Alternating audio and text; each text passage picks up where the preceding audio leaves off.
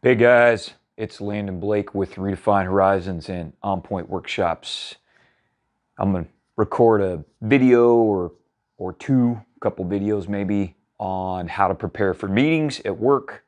Uh, the specific type of meeting we're gonna talk about in this video or couple videos is what I call status update meetings. So I'll explain what those are in a minute.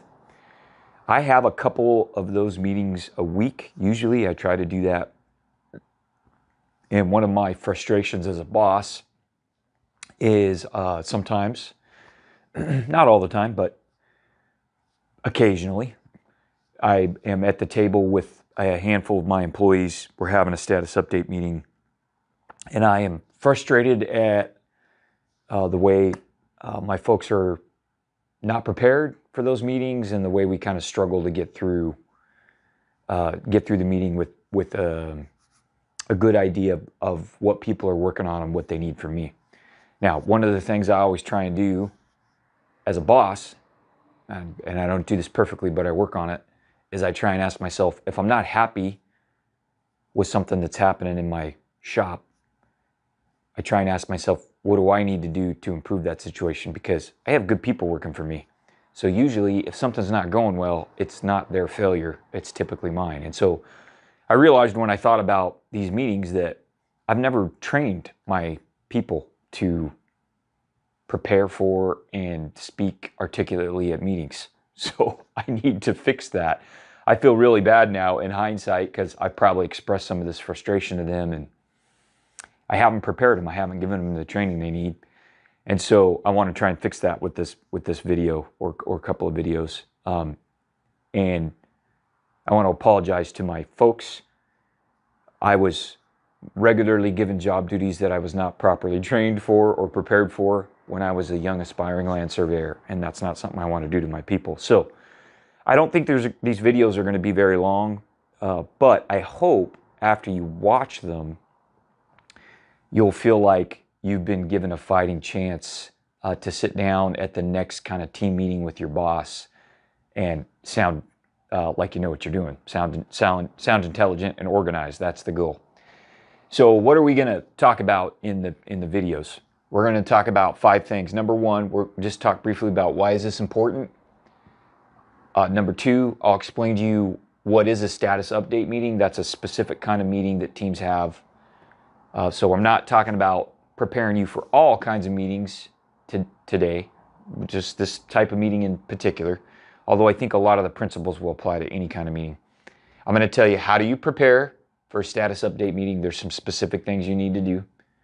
Uh, I think we're going to talk about five questions you need to become. You need you need to go to the meeting prepared to ask five questions. And then we're going to talk a little bit about what you want not to say to your boss and what you do want to say to your boss in those meetings. So we're going to have some things not to say and some things to say. Um, and then I have a um, an extra kind of bonus video where I actually give some examples of the bad the bad thing to say or the wrong thing to say and what would be better to say. So I think that will also be helpful. Okay, so that's that's what we're going to cover. So let's go ahead and talk briefly about why why is this important? You know, why is it important if you are a young professional to be able to come to this kind of team meeting prepared, right? And these kinds of meetings are usually especially as a younger professional, they're usually internal. In other words, they're inside your organization. But as you get older and you develop more as a professional and take on more responsibility, you're going to find that you're you're having these meetings with clients or with uh, with external teams because um, this is also pretty typical for external teams. So it's a good skill to practice and to learn. So why do you want to be good at it? Well, it makes you look good at your job. Now you notice I underlined the word look here. I did that on purpose. So you can be bad at your job, but look good at it. And you can be good at your job, but look bad at it.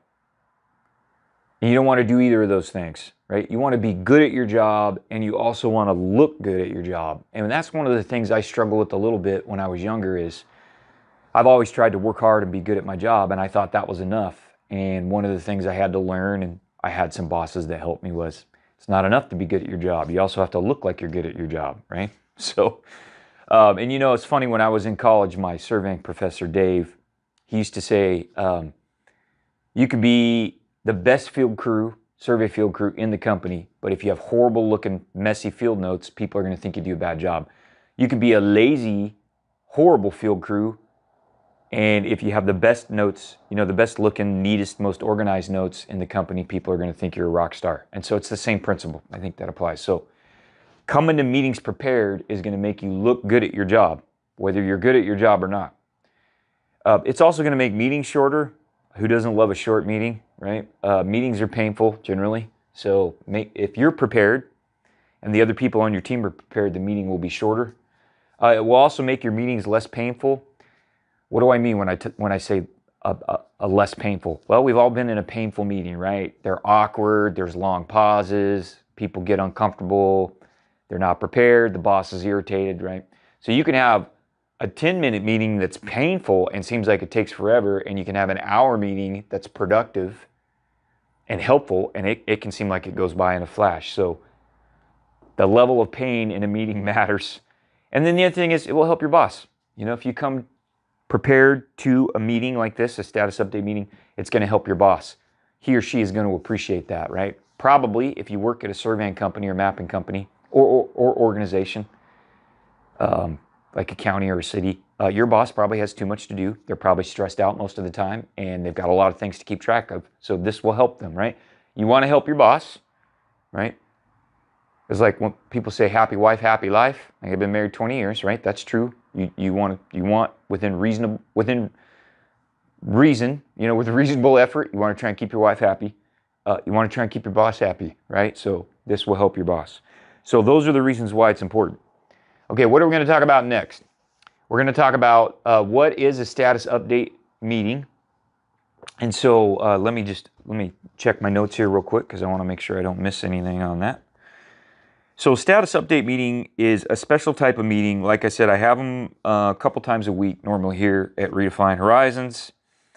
And uh, it is a meeting designed to communicate the status of uh, projects or tasks, right, or some other logical unit of, of work. And usually what happens is, at least at my shop, is I'll go around the room and I just kind of check in with each each team member that's in the meeting and ask them, you know, give me a status on what you're working on, you know, and it could be what are you working on this week or what are you working on today or we have one for for what we call records of survey. So they're a special type of map that we have to file in California and most of my technical people get assigned different maps to do. So I'll go around the table and ask them where are we at with the maps that you've been assigned. So that's a status update meeting. Um, there are a few uh, questions that you want to be able to answer about each meeting. So uh, we'll we'll talk about that in a minute. I want to write those on the on the whiteboard so um, so you can see them and not just hear them because they're they're important. So what are we not going to talk about today in the videos? There are a few things that we're not going to talk about. So uh, I'm not going to teach you in these videos how to design meetings. Uh, I'm not going to tell teach you how to hold meetings or run meetings, um, and I'm not going to tell you how to prepare for other types of meetings. So there's other types of meetings. Uh, there's meetings to make decisions. There's group training. Um, there's meetings to convey critical information to your team. Not talking about any of those today. We're just we'll do more videos on those. I hope. For today, we're just going to talk about status update meetings. So let me take a quick pause, and when I come back, we will uh, go over the five questions that you need to be prepared to answer for each item on an agenda that you've been assigned in a project status meeting, we'll go over those questions. Um, and then we'll talk a little bit about how to, how to prepare. There are five questions that you need to be prepared to answer in a status update meeting. And you need to be ready to answer these five questions for each agenda item that is your responsibility, right? So those could be projects, tasks, or other logical units of work. Okay, so you got to be ready to answer these five questions, guys, for each of your your items. Okay, so not the first one, not the last one, not the one in the middle, all of them. If you want, if you want to look like you like you're competent, right? So I wanted to write those questions down on the whiteboard because they're important, and I want to make sure you get them all. Okay, so when you sit down for your status update meeting, here's what you got to be able to tell your boss during the meeting for each one of your agenda items. You got to tell your boss, first of all, what has been done since the last meeting. Usually these status update meetings are held on a regular basis, right? They're every week or every two weeks or every month. So what, what did you do since the last meeting? Number two, what are you currently working on right now? Number three, what are you going to do next? So when you're done with your current task, your current task, what's coming up? What, what's the next thing in the process or in the workflow? Number four, and this is what I really care about as a boss, how long until you're done, right? Why do I care about that as your boss? I care because I typically need to convey that information to someone else, or I need to use that information to allocate resources to make sure that we hit deadlines for clients. And then finally, number five, you need to be able to tell your boss what help do you need. If you need help, or if you're hitting a roadblock, you got to be able to communicate that. Now, if you don't need help, it's fine, it's okay, but you need to be able, if you do need help, you need to speak up and you need to be able to communicate that. All right, so let's just use an example. Let's say we're having a status update meeting for our record of survey maps, and I've been assigned the record of survey for Yankee Hill. That's one of our projects. Okay, so let's just go through what I need to be able to say. So, first question What's been done since the last meeting? Boss, I sat down, took a couple hours, I reviewed the boundary line work drawing, the boundary anno drawing, and the boundary survey report for the project. All right, good. Two, what are you currently working on? Boss, right now I'm creating the sheet layout and working on the cover sheet. All right, good. Three, what task is next? Next, I'm gonna uh, complete the note sheet and run PDF prints for you to review. Perfect. How long till you're done? Boss, I need another day and a half to finish that work. Great. What help do you need? Well, I already told you, boss, I'm going to need you to check my PDF prints make, and get me your, your review comments so I can get those addressed and prepare the submittal package. All right.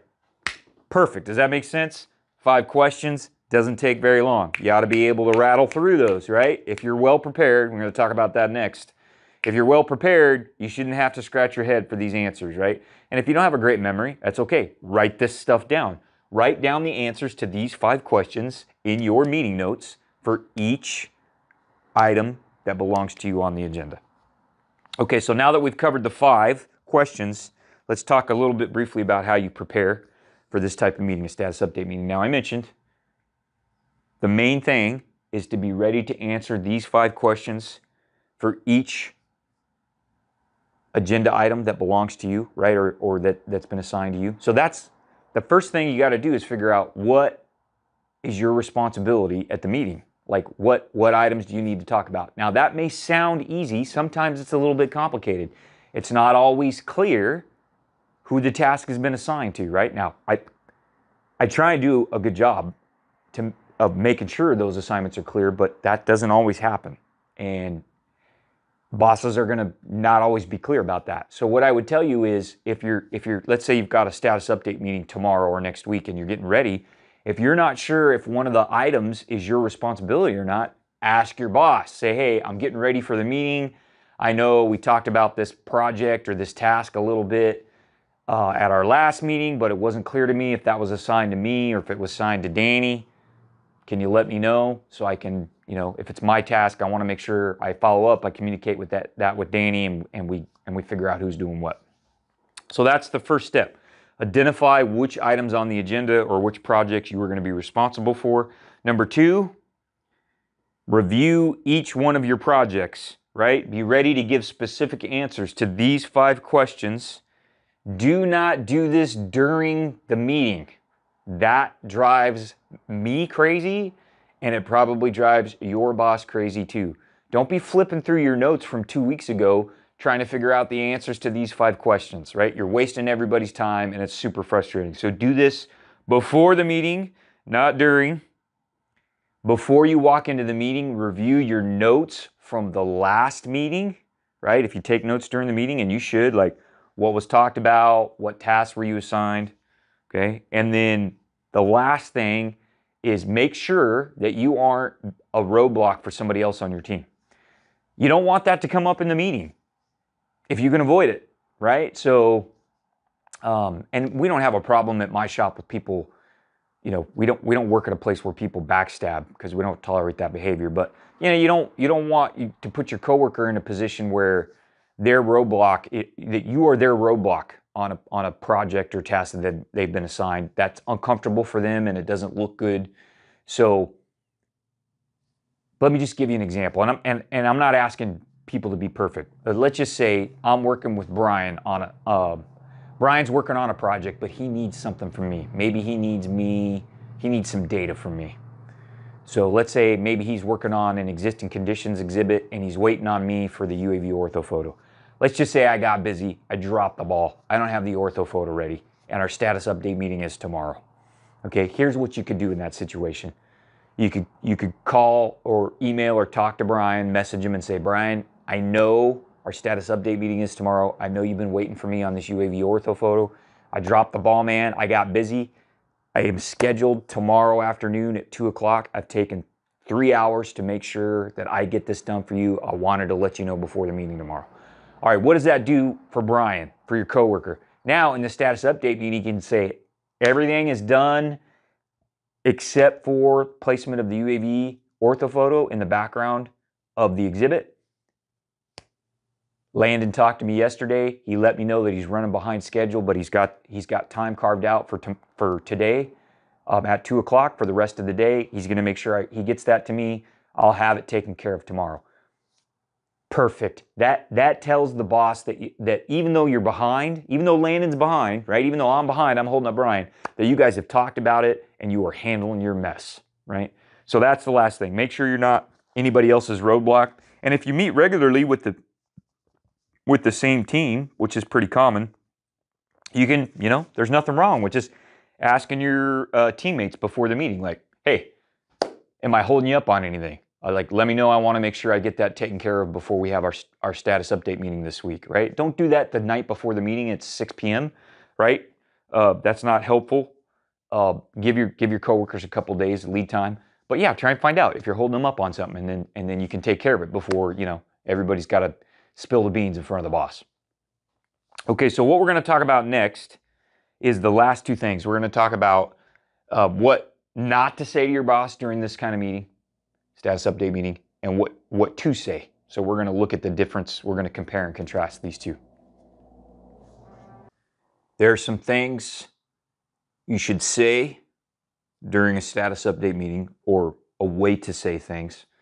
And there are some things you should avoid saying during a status update meeting. So we're going to go through each category here and hopefully you'll be able to see the difference. We're going to compare and contrast a little bit. All right. So we're going to start with what you want to do. So what, what do you want to say during these kinds of meetings when it's your turn to speak? So the first thing is, you know, to the extent possible, be brief and concise. Don't mumble. Don't say um. Don't, you know, rifle through your disorganized pile of notes. So be brief and concise. Mostly, this is a result of being prepared for the meeting, right? So be prepared. That will help you to be brief and concise. You know, I don't want you to read me a dictionary or tell me your life story typically during these meetings. So brief and concise. Number two, wait your turn. Your boss is probably not going to forget you. Be patient. Um, if for some reason you think you're getting near the end of the meeting and you haven't had a chance to speak, you could politely uh, ask your boss if you could have an opportunity to speak. But don't jump out of line. It's a it's an irritating childish habit. So just be patient, wait your turn. If you're at the table in a meeting, your boss probably knows you need to speak. Number three, uh, mind your own business.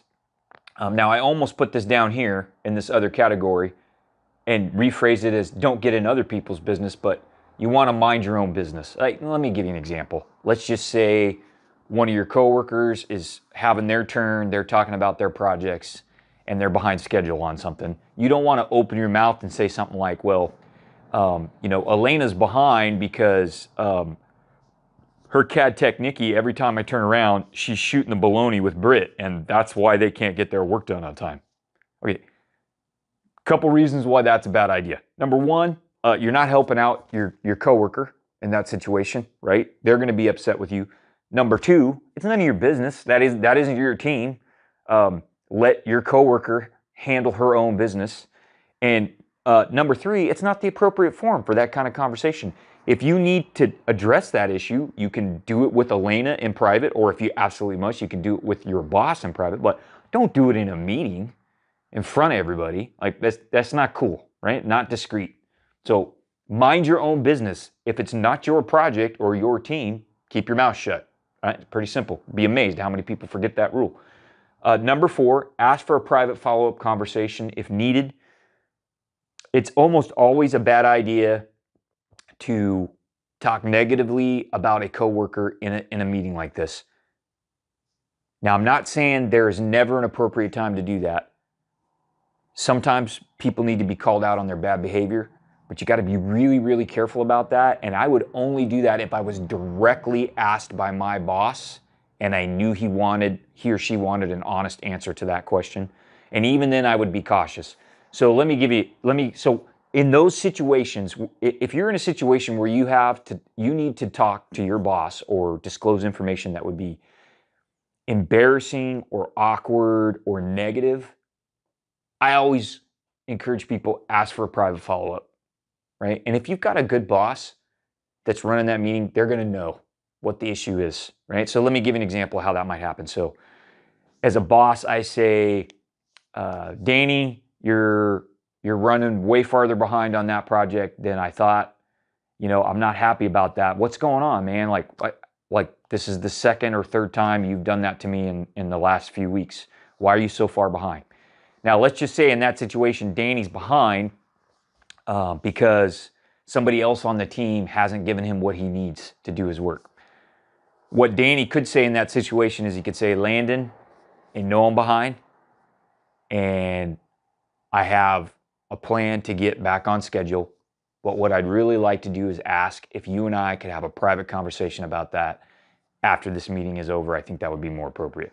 Now, if I'm the boss running that meeting, when Danny says that to me, I'm to know what's going on, right? I'm to say, all right, yeah, no problem, Danny. Don't let me forget after the meeting, you and I will get together for a few minutes and we can talk about what's going on, right? So if you got a good boss, they're to know, right? And then um, there, there's an appropriate venue for those conversations. Usually a group meeting is not the, the right place. So, you know, if, if, if you got to throw, I don't want to say throw somebody under the bus, but if you have information that isn't flattering or maybe you've got something personal going on in your life, you know, like, I don't know, maybe you just had a baby or you had a grandparent die or you got something going on. Like, you don't necessarily have to air that dirty laundry out in front of everybody, right? Ask for private follow up. It's okay to do that. And if you got a good boss, they're going to respect that.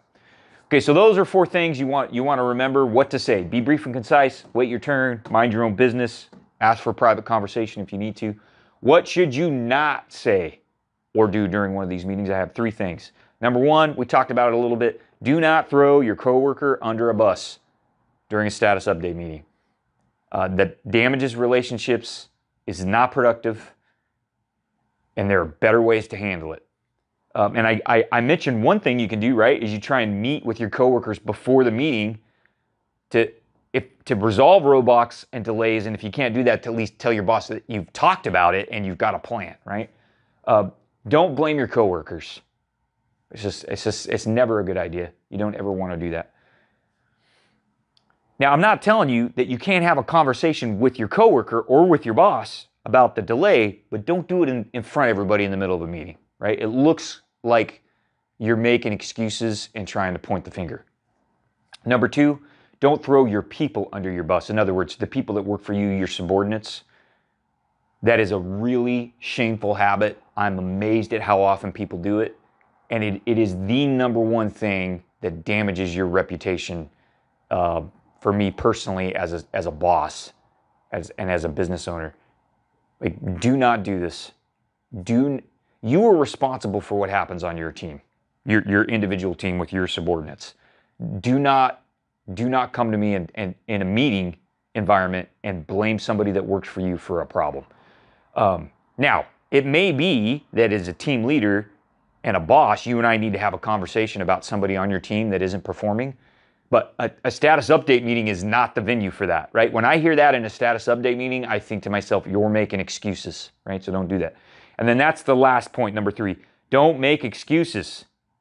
Own your stuff. I'd much rather have somebody be accountable than make excuses. I'll be honest with you. I, I'd rather have somebody say, "Boss, I dropped the ball on that. I was supposed to get that. I was supposed to get to that last week, and I had too much going on, and I forgot all about it." Or, "Boss, I was supposed to do that last week, and you know what? I'm just going to be honest with you, man. I was super busy preparing for my Super Bowl party, and I and I just I completely forgot that I needed to follow up on that." I'd much rather have that than somebody that says, well, you know, last week you gave me a bunch of stuff to do and I was running around and I'm just overwhelmed and you always do this to me. You always give me too much to do and I just didn't get to it. Yeah, I don't want to hear excuses. I don't. Own your stuff. Just own it. Right? I will respect you more if you own your stuff. And chances are your boss will too. All right, so there you go. What to say, what not to say. I have an extra video that actually goes over some examples of bad things to say and good things to say in a meeting. Um, we're going to put that up on a new Patreon page I've got. So uh, if you enjoy these videos on YouTube and you'd like to support me on Patreon, um, you know, it costs money for the sound and video equipment, the web hosting, and I've got, um, I've hired somebody now uh, to help me edit, uh, edit the videos and put together the video descriptions and the show notes and stuff. So if you want to help me cover some of that cost, you can support me on Patreon. We have some really affordable monthly memberships there and uh, you can catch that uh, kind of extra extra video that uh, goes over some examples of what what not to say and what to say in a meeting. So thank you for watching.